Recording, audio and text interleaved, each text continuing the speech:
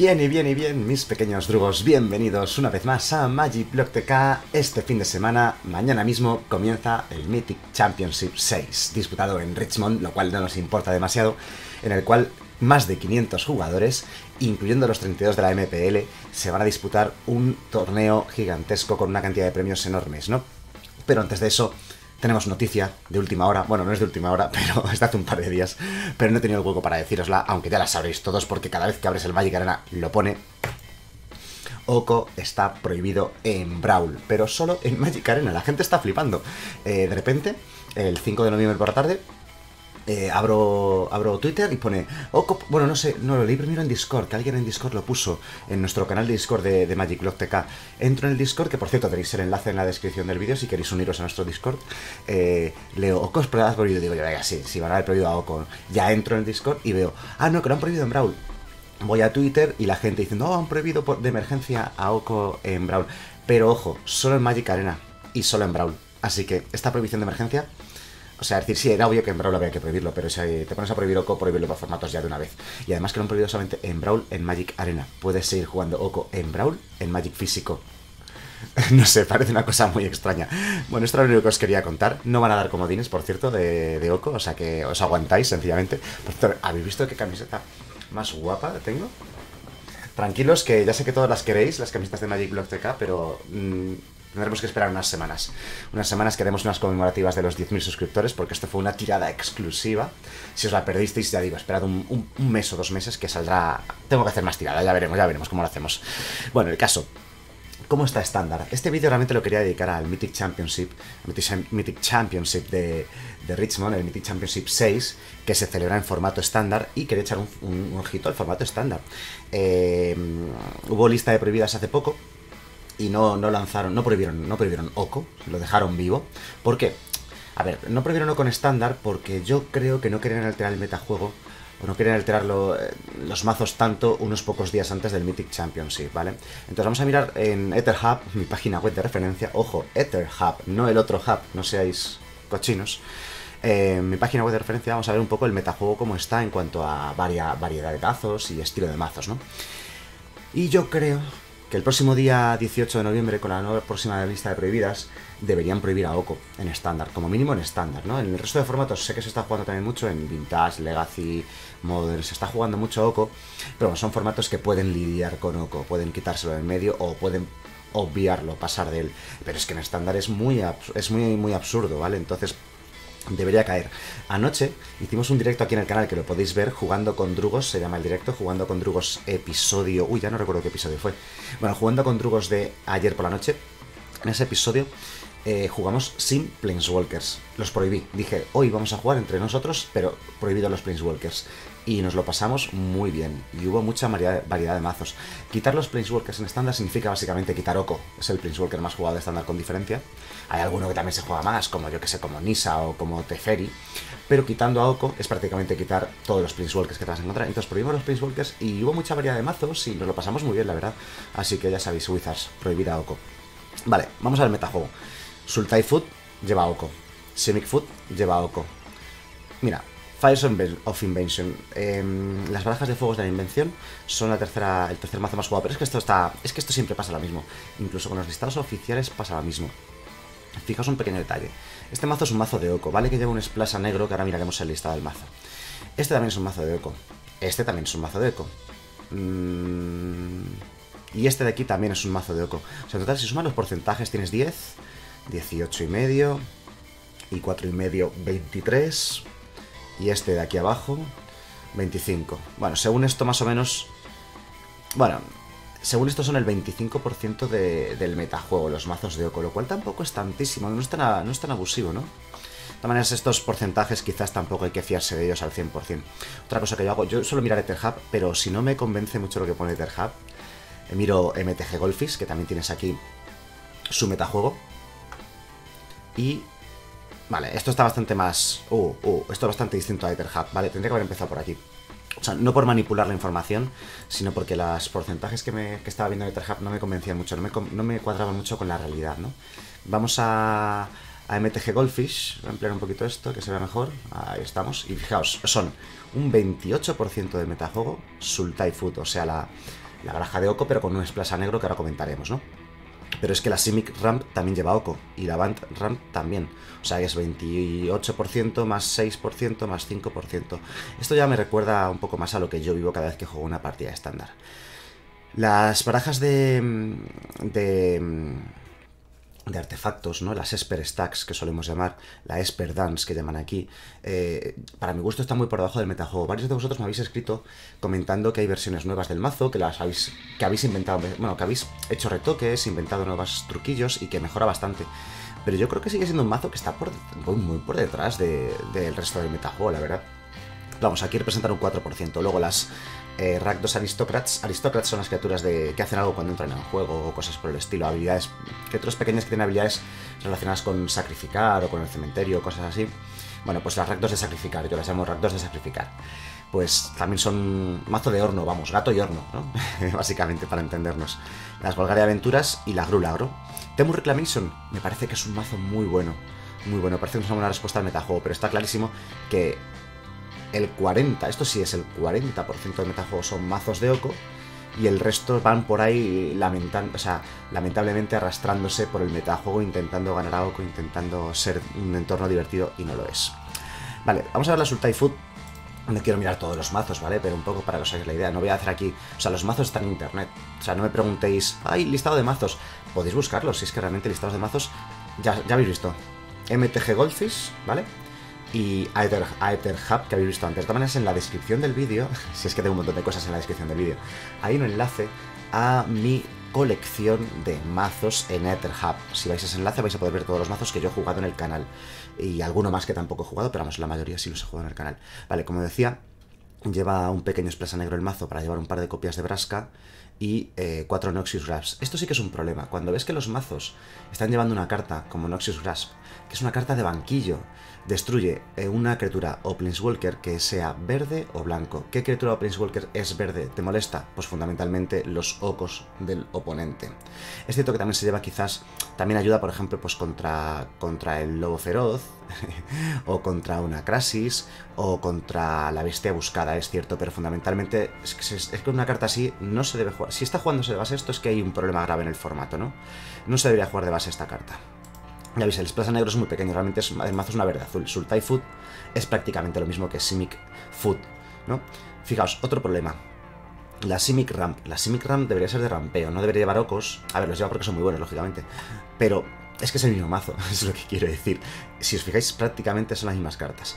Y lleva otra carta que no debería estar de base, el Ethergast, que lo que hace es eh, un permanente, o sea, perdón, un hechizo azul o verde, lo pone en el top o en la parte de abajo de la biblioteca, vamos, que lo quita del, juego, vamos, básicamente. O sea, otra carta que es contra Ocos. Contra Ocos, contra bestias buscadas y contra otras criaturas que te puedas encontrar, vale, eso es cierto. Pero fundamentalmente, si esto se juega de base, es para quitarse a Oco del medio. Y si vamos a la Band Ramp, pues lo mismo pero con blanco, ¿vale? O sea, son como las tres versiones, la versión verde-azul, la versión con splash blanco, la versión con splash negro. ¿El splash blanco para qué es? Vale, genial. De, base no lleva nada blanco este mazo, como podéis ver. Eso sí, sí que lleva sus cuatro ocos, sus Ethergast de base, ¿vale? Y de banquillo lleva Teferis, para eso lleva el blanco, para ese pequeño splash. Pero es otro mazo exactamente igual. Y luego, como decía, las Esper Stacks, que las hemos jugado aquí en el canal, yo las intenté, la intenté jugar bastante, y es un mazo que me gustaba bastante. Eh, pero es que es malo, es que no es bueno. Yo no he visto todavía ninguno que realmente funcione. A ver si le han cambiado alguna cosa a este listado. Nada, el listado es más o menos el mismo que, que ya he jugado yo aquí en el canal, salvo por un matiz, matiz muy, muy destacable, y es que lleva de base 3 Noxious Grass. ¿Para qué? Para poder matar Ocos. O sea, eh, una carta que solamente interactúa con permanentes verdes o blancos. Que, o sea, el metajuego está dominado por el color verde y eso está clarísimo porque se están jugando cartas de base como esta, o esta, que es otra carta de banquillo esta carta de banquillo, esto se lleva de base pues porque hay demasiados ocos y son demasiado poderosos, ¿vale? Si no, no se jugaría esto de aquí. Bueno, el mazo es exactamente igual, o prácticamente igual, salvo eso, o sea, no veo ningún cambio en la estrategia con respecto a la que jugamos aquí hace, ¿hace cuánto? Hace ya más de un mes. Cuando salió el trono del Drain, yo ya jugué este mazo aquí en el canal, pues hace, hace, sí, hace más de un mes. Hace más de un mes ya lo jugamos. A los pocos días de salir el trono del Drain ya estábamos jugando este mazo aquí. O sea, que no es ninguna novedad, no nos volvamos locos. Luego, eh, los mazos de aristócratas o de sacrificar, a mí me gusta más la versión mono negra, porque al fin y al cabo este mazo es el mazo del, gato y el horno. Ya sabéis, un mazo muy pesado. Ojo, ¿no habéis pensado que podrían llegar a prohibir la carta esta, el gato este? El familiar del caldero, el Cauldron Familiar, o el Witsoven, el horno de la bruja. Es que son muy pesados, son muy buenos, además de que son buenos, una carta muy buena, es que es muy pesada. Hay que lanzar, o sea, hay que estar todo el rato interactuando con el cementerio, todo el rato clicando en la pantalla para que se vayan haciendo las habilidades y se hace muy pesado, ¿vale? Yo la juego sin rojo, la verdad. A ver, con rojo ganas pues la Chandra y ganas el Mayhem Devil. Es muy bueno este bicho, es cierto. Pero sin el rojo lo que ganas es una estabilidad de mana, de la base de mana muy interesante. Es un mazo que estoy jugando bastante. Casi siempre que me echo unas partidas cojo este mazo, ¿no? Y luego la Grul Agro de Javier Domínguez, ya sabéis, ya la jugamos aquí también en el canal que me sorprende que se juegue tan poco porque realmente es muy buena. Y las Temus Reclamation, para mi gusto, son las tapadillas del formato. Me parece que son muy buenas y por algún motivo no se están jugando. Fijaos, un 3% del metajuego nada más, como pone abajo a la derecha. Y yo creo que son yo creo que son la respuesta a, la, a Oko, este mazo, porque pasa un poco de Oko, le da un poquito igual, ¿no? Por cierto, eh, Simic Flash ya por aquí abajo, las de Fuegos de la Invención, como por cierto. Por cierto, que estaba comentando, Colgaria de Aventuras, igual que esta, pero está con rojo, aunque pone Junt, no sé por qué pone Junt, si no lleva rojo. bueno, el caso, lo que iba, que los porcentajes que está dando MTG Goldfish son muy distintos a los de EtherHub. Y por lo que yo he visto, me convencen más los de MTG Goldfish. A ver, normalmente los dos están bastante acertados, ¿no? Pero no sé por qué hoy hemos entrado en, en EtherHub y me da la sensación de que no acertaba nada. A ver, volvemos a EtherHub. Si volvemos a Etherhub, ¿veis? Es que no aciertan en nada, no se parecen en nada. Y estos de Etherhub, ¿a qué no es vuestra sensación cuando estáis en Magic Arena? Bueno, vamos a lo que iba. Lo que iba este vídeo es hablar del Mythic Championship 6. 6. no he dicho ni 6 ni 6. Vale, el Mythic Championship 6, que mm, aquí tenemos alguna información. Si entráis en magic.gg tenéis toda la información, ¿de acuerdo? Hoy no voy a dejar enlaces en la descripción porque creo que lo deja todo bastante claro sin necesidad. Vienen los, los standings actuales del Road to Worlds eh, a los campeonatos del mundo. ¿Quién está líder? Está Javier Domínguez, el jugador español. Y luego Andrea Mengucci, el jugador italiano. Y luego ya Manuel de Praz, el jugador francés. Eso es lo que decía yo el otro día. Es que está dominado por los latinos. O sea, tenemos un español, un italiano y un francés. Estamos dominando totalmente. Eh, totalmente Magic el, a nivel mundial, ¿no? Luego ya sí tenemos jugadores estadounidenses, ¿no? Ray Duke, Autumn Burchett, yo creo que Autumn Burchett también es estadounidense, ¿verdad? Y Brian Brown Duin y Kenjuki Hiro, que es japonés, ¿no? Seth Manfield también es estadounidense. Pero los tres líderes, España, Francia e Italia, siempre el tridente, ¿no? O sea, la verdad es que es para estar orgulloso, ¿no? De, de, estos éxitos. Generalmente Francia siempre ha tenido buenos jugadores, siempre ha tenido muy buenos, eh, en forma de los hermanos Ruel, los legendarios hermanos Ruel, o, o este, el capitán Pescanova, que le llamáis vosotros. Eh, pero Italia siempre ha tenido también algún, muy poquitos, pero alguno ha tenido que ha destacado y España prácticamente ninguno que haya llegado a este nivel, nadie. Javier Domínguez es el primero que llega hasta realmente a este nivel de estar arriba siempre, permanentemente, ¿no? Vale, aquí, bueno, el resto de jugadores del Road to Worlds, que son los de la MPL. Vale, a lo que iba. vale, de los Challengers, estos no están en la MPL, pero fijaos, también tienen muchos puntos. Están incluso al nivel de algunos de la MPL. Estos son los líderes de la... Claro, los de la MPD van a estar siempre los primeros. Bueno, ya hablaremos de esto. Hablaré un poco de, lo, de cómo se clasifica la gente para el Mundial. Nosotros no podemos clasificaros, tranquilos. Y, de cuántos puntos van cuando se acerque la fecha, ¿vale? Aún queda mucho. Así que ya, si queréis leerlo tranquilamente, como veis es un artículo largo y es bastante pesado. Eh, vale, aquí no hay más información. Lo que me interesaba, bueno, típico vídeo presentación. Qué susto. me imagino que os he dejado sordos. Yo me he quedado sordo, la verdad. Bueno, el formato, por cierto, es estándar. Eh, los 32 jugadores de la MPL van a estar ahí disputándolo. Pero también se juega draft del trono del Drain. Eh, los dos primeros días, el viernes y el sábado, primeras, las primeras tres rondas del torneo son un draft del trono del Drain. Y luego ya el resto es estándar, ¿no? El viernes, el sábado y el domingo las grandes, la gran final. Mola bastante ver el coverage, os invito a verlo. Lo podéis ver en Twitch. En Twitch lo van a emitir en directo. Dicen aquí también lo podéis seguir a través de Twitter, un poco la información, o a través del Instagram, o a través de esta propia página web, magic.gg. Pero en Twitch vais a verlo en directo cómo juegan los jugadores. Empieza a las eh, viernes, sábado y domingo a las 4 de la tarde, hora de España, ¿vale? Para que lo tengáis más o menos claro. Creo que es a las 4 de la tarde, hora de España. O sea, es decir, es a las 2 de la tarde UTC, España es UTC más 2, creo, si no me equivoco. Es que cambiamos de hora la semana pasada, no sé si eso ha afectado. Bueno, y a las 9 de la mañana horario del Pacífico, ¿no? Por si algunos desde el Pacífico lo, lo, vais a ver, ¿no? Desde el Pacífico me refiero a América Latina, que no sé si compartís el horario con el horario del Pacífico de Estados Unidos, no estoy seguro, no me sé todos los horarios del planeta, lo siento. vale, eh, los, los mazos serán publicados mañana viernes eh, a partir de la ronda 4. Eso será, pues a ver si empieza el torneo a las 4 de la tarde hora de España, será más o menos a las 8 de la tarde hora de España.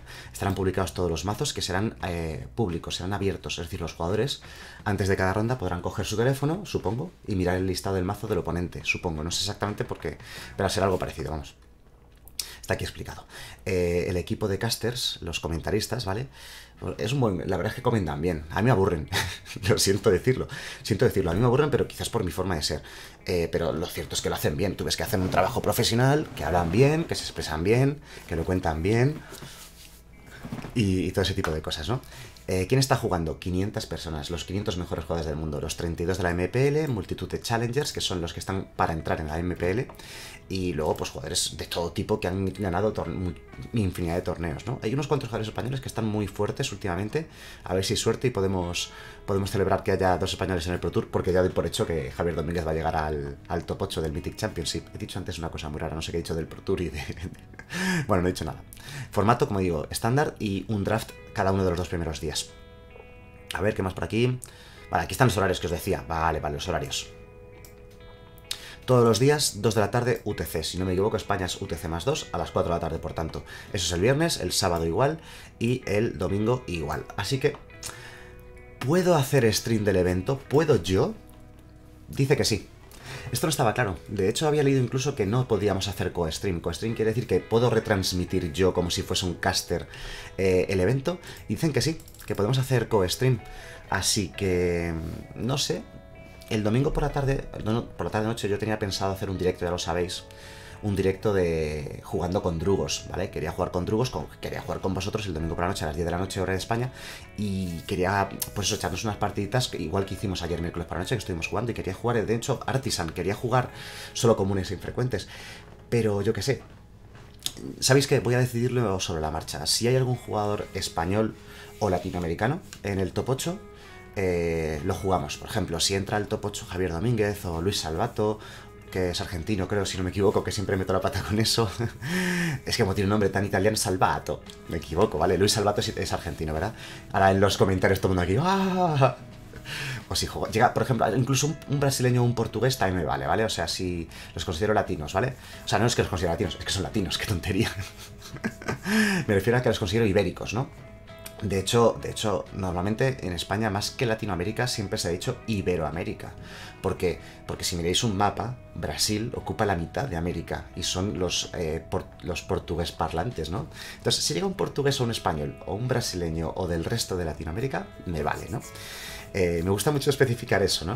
Me gusta mucho decir latinos. Pues latinos son cinco países. Voy a, enrollarme aquí, que ya estamos en el minuto 18 y ya la mitad ya habéis dejado de verlo.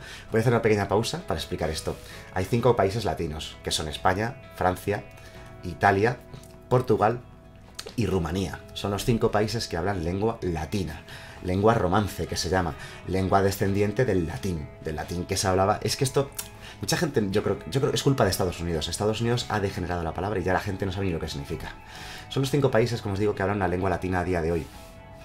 Y eh, las lenguas latinas fueron, pasaron el, el océano a América hace, hace, hace 500 años por motivos desagradables, como fue la conquista y toda esa movida terrible y terrorífica y espantosa que pasó en esa época. Pero el caso es que eh, pasamos el idioma para allá, ya sea el portugués, ya sea el español.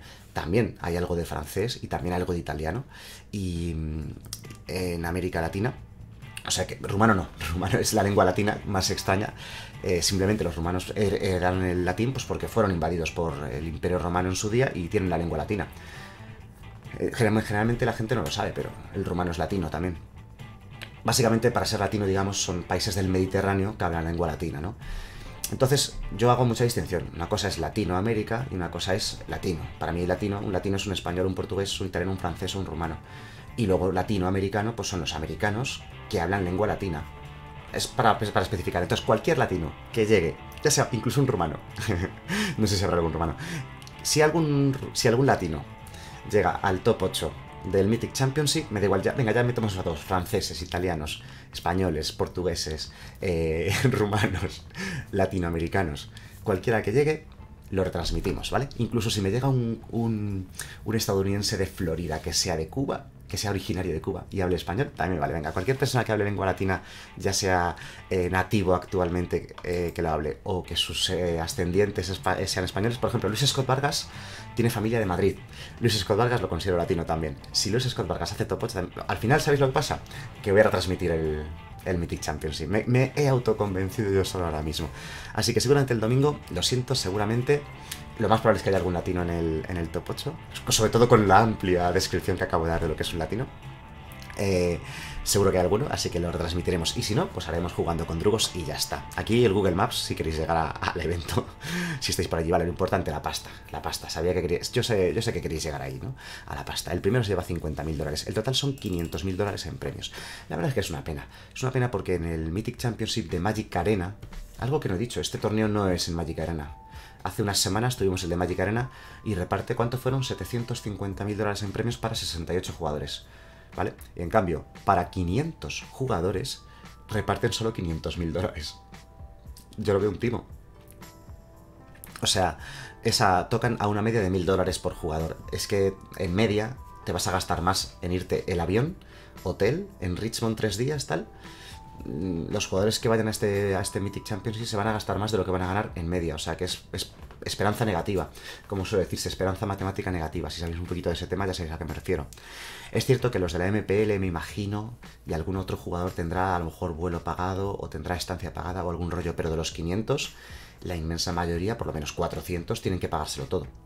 Entonces salen perdiendo, básicamente. Estáis perdiendo dinero por ir al Mythic Championship, en media. Bueno, eh, hay premios en Mythic Championship, o sea, en Mythic Points, perdón, que te clasifican para los mundiales. Y ya está. Algo más. Vale, aquí hacen un pequeño reportaje, os recomiendo que lo leáis sobre cómo está el metajuego. Dicen, bueno, el mazo a batir es Simic, Simic Food, ya sea verde-azul, pero o con algún esplaza blanco o a negro, pero todas van a llevar Oco. Y luego además este cuarteto de cartas también lo llevan todas, ¿no? Además, ya lo hemos visto, el esplaza a blanco o el esplaza negro es mínimo, ¿no? Una buena forma de combatir a Oco, más manipulation, casual, eh, bajas de la guerra, manipulación masiva, bajas de la guerra. Y luego hablan de otras opciones, mazos eh, rojo-negro de sacrificio, mazos Jund de sacrificio o con Sarkhan, eh, bueno, las diferentes opciones que hay para combatirlo, los mazos de Golgari Aventuras, o Golgari Midrange, bueno, el caso es que suelen ser de aventuras, pero son mazos que ya he dicho antes están muy por detrás. Y ha surgido una Azorius de control, que yo creo que aquí al canal, no sé si la llegué a traer o la jugamos simplemente un día en un directo. Eh, creo que no la llegué a traer al canal un vídeo específico de la Azorius de control, pero yo ya sabía que existía hace unas semanas, desde hace dos o tres semanas, una Azorius de control que podía plantarle cara a Oko, ¿no? Que es una buena opción. Y lo que os he comentado antes, las Temu Reclamation. Ah, ¿Qué estoy haciendo? Las Temu Reclamation son yo creo que es el mazo tapado. Para mi gusto es el mejor mazo del formato, ojo. Porque gana muy bien a Oko. Y gana muy bien a todos los mazos. Y además, lo malo es que es un mazo muy injusto. Porque interactúa poco con el rival, da pocas opciones. A ver qué tengo por aquí. El fin del vídeo. Bueno, un vídeo informativo. Eh, ya sabéis que últimamente estoy dejando un poquito de lado los, los, los, gameplays a la espera de que el metajuego de estándar cambie, a ver si prohíben ya Oko y cambia todo. Y creo que la gente está un poco quemada de eso, así que vamos a divertirnos un poquito más estos días. Espero que el vídeo os haya gustado y nos vemos en el siguiente vídeo. Hasta luego.